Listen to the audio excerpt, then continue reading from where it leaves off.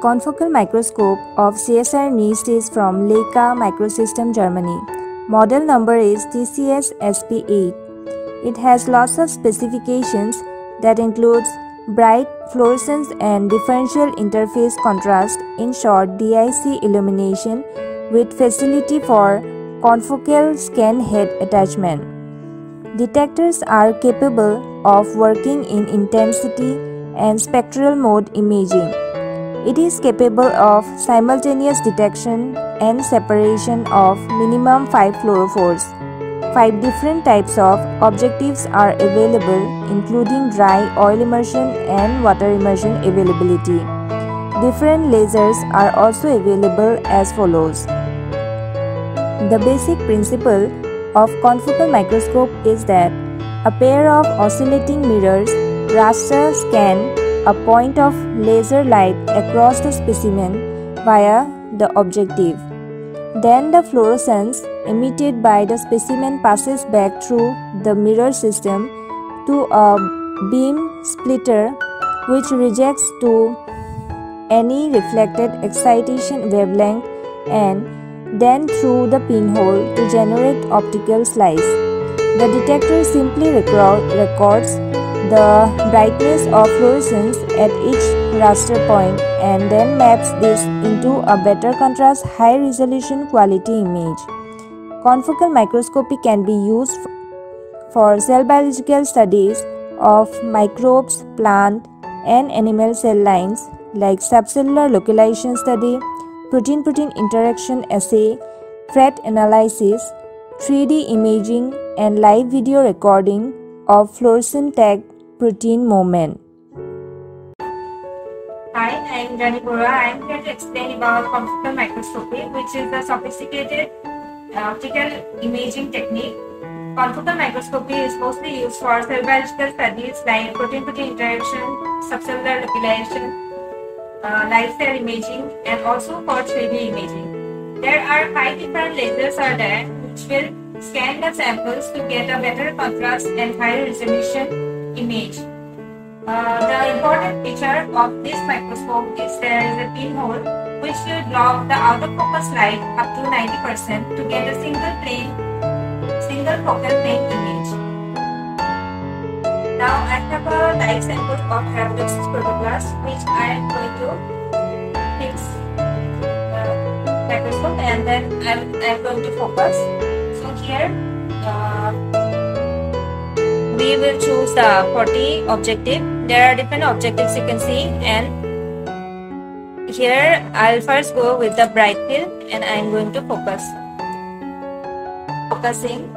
We are going to proceed to visualize the image through Leica software LAS X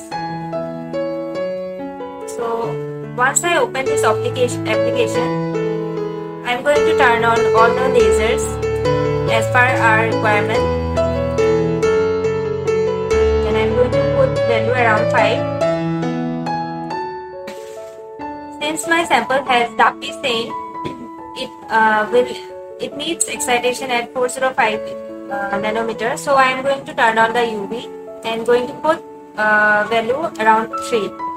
Then same for uh, in the same sample, I also have YFP protein. So for that excitation, I am going to on turn on the 514 nanometer channel and put value around 3. After turning on the laser channels, we are going to proceed to the photo detectors. So as per our requirement, I am going to choose this uh, photo detector 1 and here I am going to choose for DAPI. So here I am selecting DAPI. Here this photo detector will show the emission range. So here I am going to adjust with this sliding bar I am going to adjust the emission range which is 438 475 nanometer. Then uh, for the second one YFP I am going to on this PMT3 and here I am going to select EYFP and I'm going to slide this bar to adjust the emission range. Here we can select the colors as per our wish. So for the DAPI we are selecting blue and for the YFP we are selecting yellow.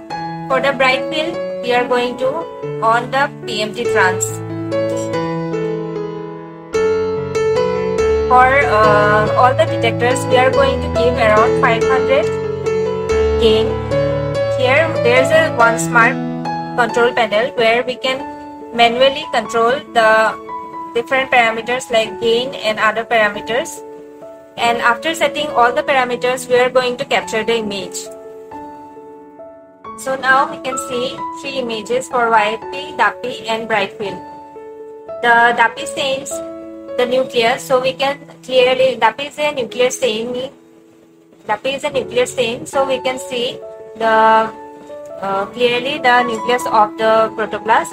And uh, since my protoplasts are transformed with YFP protein so it is showing fluorescence in the cytoplasm. And here is the bright field one. The another feature of this uh, microscope is that we can get a merged image of these two lasers from where we can see the co-localization of both YFP and DAPI. So like this we can get uh, biological inference from the confocal analysis. Thank you.